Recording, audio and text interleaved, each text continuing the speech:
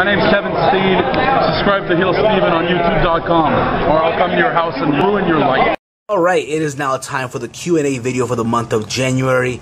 I got some good questions sent in on Facebook and YouTube. So let's get started with this. The first question from Peter Gilmore on Facebook, and he asked, Thoughts on Chris Hero coming back to ROH, and where do you see ROH doing with them? Happy to see him back. I remember at Final Battle, he came in, he attacked Matt Hardy and Adam Cole and he told everyone that he's back. I marked out, I know everyone else did.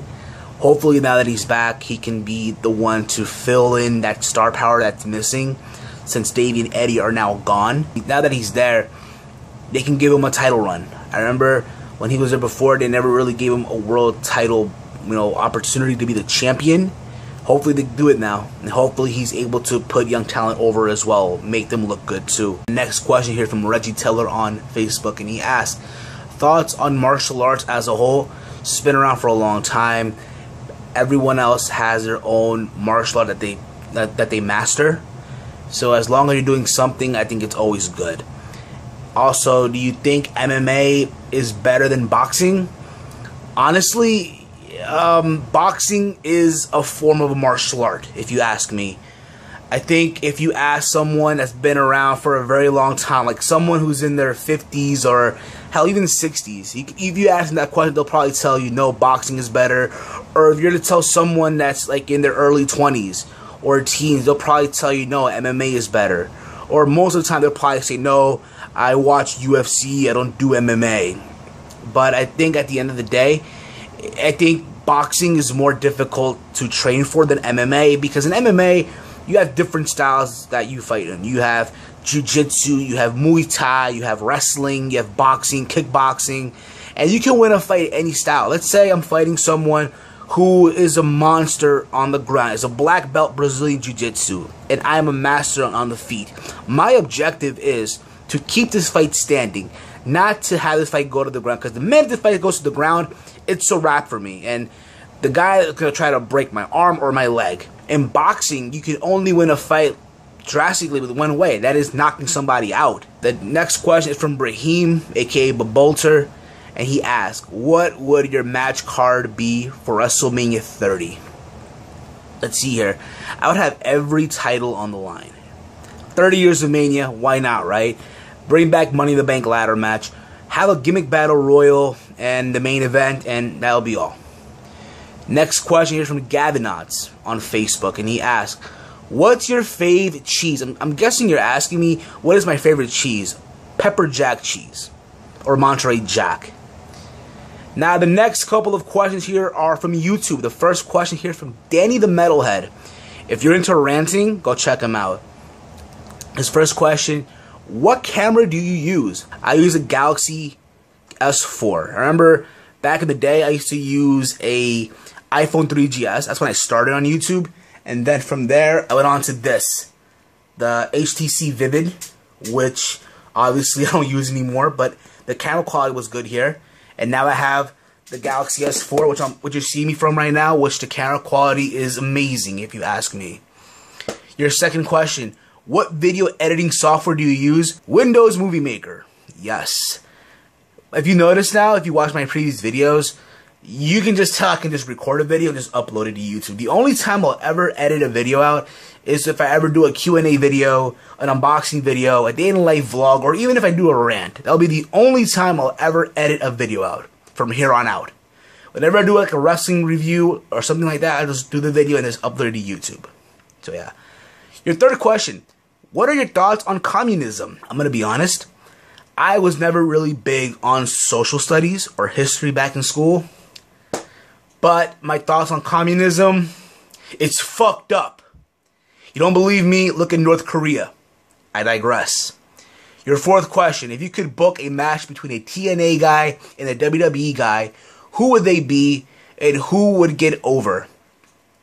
From WWE, I said this numerous times, I'll say it again Justin Gabriel. From TNA, Frankie Kazarian. I've said this numerous times. If I can pick a match between two guys from either company, have them two go at it. I feel like these two guys are going to be able to have a good match. I, I feel like these two guys can have good chemistry also. And as far as who would go over, I would say Justin Gabriel. But then again, Frankie can win too. If it was up to me, I'd have a draw, but whatever. Next four questions are from Killer O'Demon 669. His first question Will you get the new Final Fantasy games? No, I'm not really big on Final Fantasy. The only video games I ever get are like the FIFAs, the Fight Night games, the UFC games, or the WWE games. Yeah. Number two, do you see ROH signing AJ Styles or anyone from TNA to a long term deal? It could be, you never know. I would love to see TNA ROH have like a co promotion, have some of the TNA guys go to ROH, some of the ROH guys go to TNA, and vice versa. But you never know. Your third question Do you think horror genre has gotten too repetitive with the demonic possession type movies like Paranormal Activity or Devil's Due, etc.? Yes, I feel like a lot of these horror movies nowadays, there's never an ending. There's always a different one. There's never an ending. Your fourth one Who do you think should go into the WWE Hall of Fame in 2014? I said this before and I'll say it again. You know, I'm happy now that the Ultimate Warrior guy in the Hall of Fame. But I said this one I'll say it again. Hopefully, this year we see the British Bulldog. We see Owen Hart. We see Ravishing Rick. We see the model Rick Martel. And so many other names get inducted this year in the Hall of Fame. Next question here is from Andre Corbell, and he writes, What's up, broski from the South? I'm good. How about you? My quick, brief question is Who were your top three ROH stars in 2013? Peace out, my brother, and I digress. Hashtag I digress. Number one, ACH. I feel like this guy is a good high flyer and has some great matches in ROH, whether it be him opening the show or him being the co-main event. He always had great matches. Yes, even though he was a tag team with Tadarius Thomas, and I feel like Tadarius Thomas has sometimes held him back, but I do feel like him on his own did very good. I think he's definitely better than Kofi Kingston, if you ask me. Number two, Matt Taven, the longest reigning television champion. He lost the title at Final Battle to Tommaso Ciampa. But yeah, I do f- see good things coming from him in 2014. And the last but not least, number three, unbreakable Michael Elgin. Yes, this guy had matches of the night every time he competed. Perfect example, Supercard of Honor 7, him and Jay Lethal stole the show completely. Alright? And it seems to me that they'll never give him the title. Hopefully they do in 2014 but only time will tell. Now, the next couple of questions here from Danny Galvez TV. His first question is Will you please tweet me next time you have a live podcast while it's live? Yes, I will. As a matter of fact, this Saturday, the Saturday Night Live Google Hangouts returned with episode number four. Myself, Knowledge of Wrestling, and hopefully Eric makes his return. So, yes, just let you know about that, and I'll tweet you, of course, just for shits and giggles. Your second question Abla Espaniol. Se Myra Leitano. LOL, sorry, that's wrong. I'm guessing you're asking me if I speak Spanish. Well, hola, ¿cómo te va? Muy bien, espero. Uh, me llamo Steven, nací aquí, pero mis padres son de Perú. Tengo 23 años y hago videos en YouTube. So yeah, I bet you're asking yourself, what the fuck did I just say? Well, I said, yes, my name is Steven. I'm 23 years old. I was born here, but I lived in Peru for a while. My parents are from Peru, and I make YouTube videos.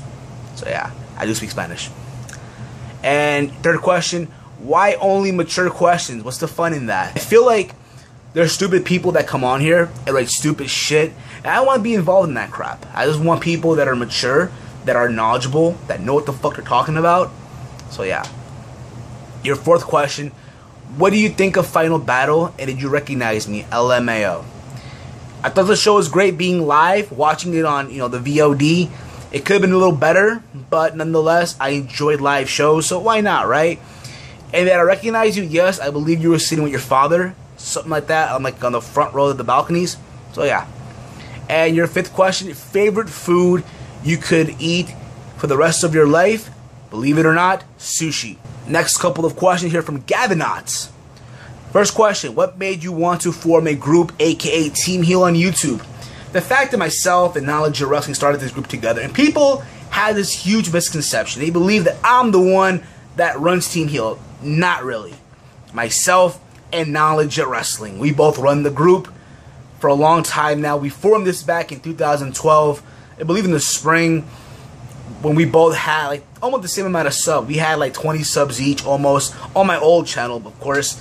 And it was one of those things that we started a group, help each other out, and probably give opportunity to other YouTubers coming in as well. Even though it made it sound silly with us not having that many subs, but look where we're at right now. You know, obviously, I've got more subs than him, but his focus is more on school, and I understand that because obviously school comes first. So yeah, he's very highly underrated. Go check him out whenever you guys get a chance. Just saying. Go check him out. YouTube.com slash non-legit wrestling. Your second question, what direction you're doing to make your channel different this year than last year? Pretty much the same, you know. I still plan on doing unboxing videos, Q&As, in-life vlogs, cooking videos, and all that fun stuff. I plan on keeping things the same. Why change, you know? Now, if I do get this laptop that I plan on getting real soon, my content creativity will just go through the roof. With that, I say that. And the next final five questions from David Rivera, aka Fort Minor Project. The first question is, what do you think that needs to be fixed in the Divas division? There need to be more women. Today's Divas division, you only have two girls that are worth giving the shit to watch about from an in-ring perspective. That is Natalya and AJ Lee. Hopefully they start bringing the girls from NXT, like Paige, Emma, and Sasha Banks, and hopefully they let Summer Rae be herself. Just saying. Number two, what is a problem you think needs to be fixed in wrestling that is bothering you right now? Hopefully the fans. I feel like a lot of wrestling fans are very, very one-dimensional. They will crap on companies like TNA and ROH and act like the WWE is God's gift and there's nothing wrong with that company. Number three, thoughts on the WWE Network and will you get it? I said it before, I'll say it again. I think it's awesome. We get to see every video from WCW, from ECW, old school WWE, every WrestleMania, and every pay per view will be free. Starting with WrestleMania 30 for only $10 a month with a six month commitment. And yes, I'll be getting it, of course. Your fourth question Who do you think will win the Royal Rumble and why? I would say Daniel Bryan. I feel like having him win and go on to Mania and win the title will be the big payoff that he deserves, I believe. And your final question Who would you like to see return to any company in wrestling? I would love to see Nigel McGuinness come back and wrestle. I feel like he can still go. I know he's retired. I know he said he'll never wrestle again. But I'm sure eventually he'll decide to lace up the boots one more time, whether it be in ROH or in TNA as Desmond Wolfe but only time will tell. Well, this wraps up the Q&A for the month of January. I hope you all enjoyed it. Links to everyone's channel will be down below in the description. Subscribe to all those people down there. Good people at that. And yeah, guys. Hope you guys enjoyed this Q&A. Like this video. Share this video on Facebook, Twitter, Tumblr. If you're new to my channel, hit that subscribe button. Okay? And I'll catch you later in the next video. Peace. See Myra Espanol. Schmrack!